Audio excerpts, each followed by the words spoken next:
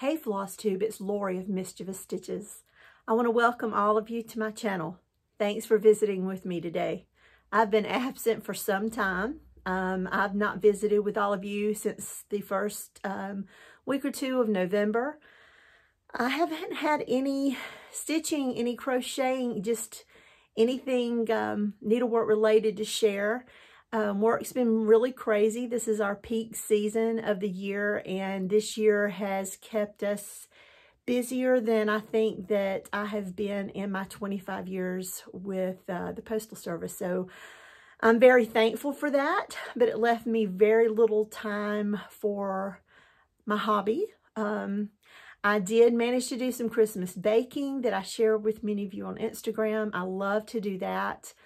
But I'm very thankful to be able to go, to take a big deep breath and just to pause and rest for a bit. Um, thanks, uh, Thanksgiving and Christmas are such wonderful times spent with family and friends, making memories.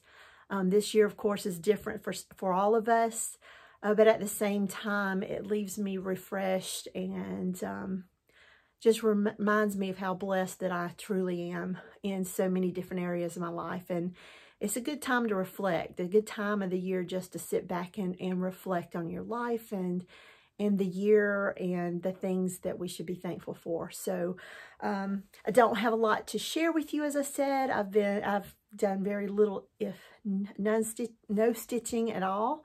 Um, but I'm going to share where I was with you last time we all visited and what plans I have because um, peak season's over. So it's time to get back to my favorite thing to do, um, my favorite hobby, which is cross stitch. So um, bear with me.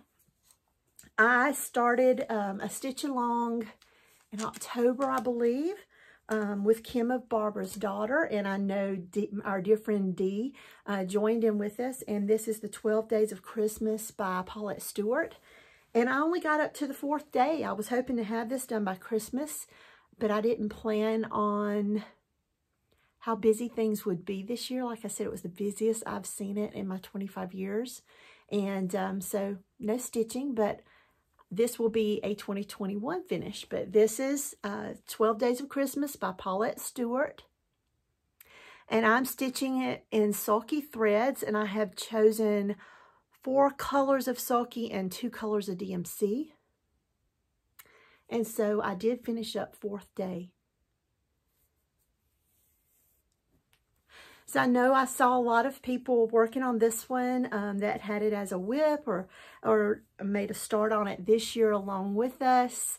Um, and I love to, to see the, the uh, pictures on Instagram. Even when I'm not stitching, I always browse through and um, show your photos and your stitching some love. And I thank all of you that do that for me as well. But this is the 12 Days of Christmas by Paulette Stewart. It's a freebie design. So I'm going to be picking that one up. And then I picked this one up in, in um, shortly before Thanksgiving 2 in October. And this is um, Uber Turkey.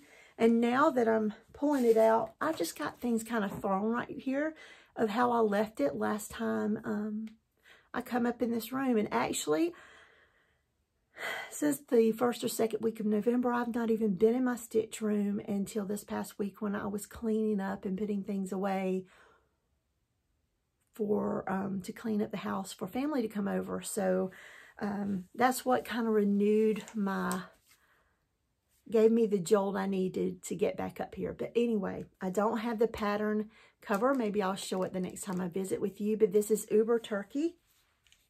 And this is by Benton Creek Designs. And I'm stitching this with DMC Pearl Cotton, and I love the coverage on that. This is stitched on a um, 28 count, I believe is what I got. It was either 28 or 30. And I'm using one strand of the Pearl Cotton, and can you see that coverage? They're nice, plump threads. They were beautiful when I got them in. I, I ordered them directly from DMC, and the coverage was just perfect. I loved stitching with the one thread. I just love it.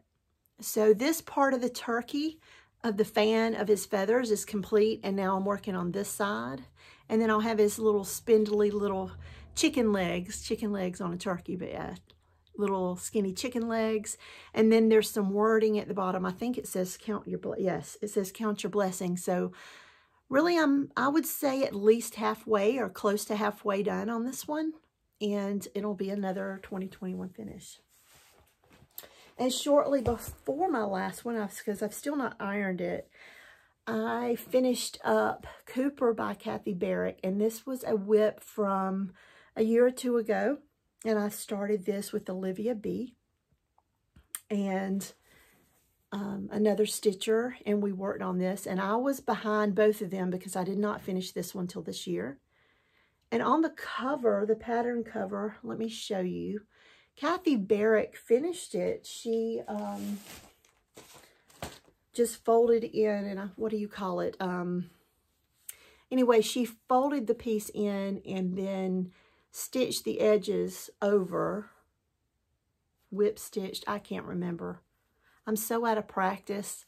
It took me a while to even get the video going because I kept having little difficulties, but um, I know you all understand that film the videos.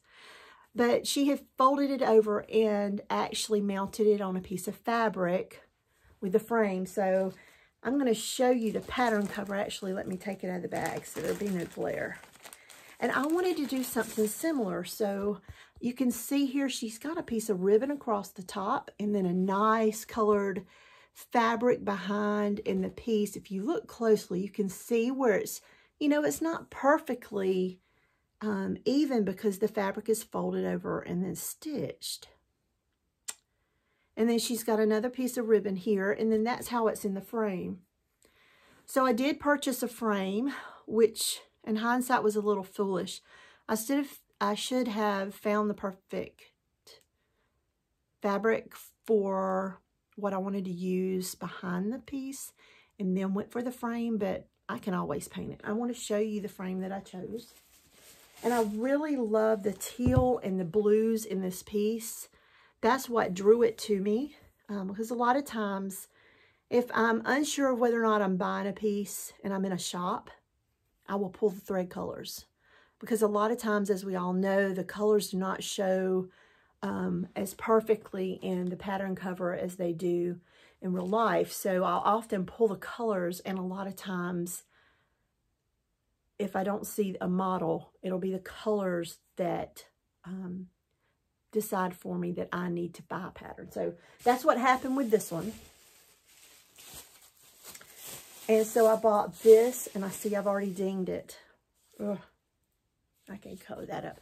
But see, the, the frame looks more like an antique teal that I thought brought the colors of his tail out. Can you see? And so I've had trouble uh, finding the fabric to mount him on. And um, I see now that Kathy has done hers on a brown. Maybe I'll do a brown. I'm not sure. But I've been to a couple of places and I just can't find the perfect fabric for him. But there is the frame. I'm not doing this very well. Forgive me. That's more true to color as I lean it backwards some. And so that's what I've got going on at the moment. So I think tonight I'm just going to pop in for this quick video to kind of acclimate me back to making the videos um, because I do want to visit with you again next week. I do want to continue stitching on Uber Turkey and, and give him some love and I would love to have a finish on him, but we've only got one week left in this year. Can you believe it? It's been a crazy year, but it's definitely just flown by. So I'm looking forward to working on Uber Turkey this evening, and then I'll have, because I've had, this is the uh, third day of my three-day weekend, and I'll have another three-day weekend next weekend, which is going to be wonderful and I'll have time to stitch and visit with you all again. So thanks for visiting with me. Thanks so much to those that reached out for me. I am happy and I'm healthy. Um, and I will be back in the next few weeks with you, you, all of you. I hope that you, you all are happy and healthy too, that you've enjoyed your Christmas season, and that you all have a very, very happy and prosperous coming new year. Hugs and stitches, everyone. Bye-bye.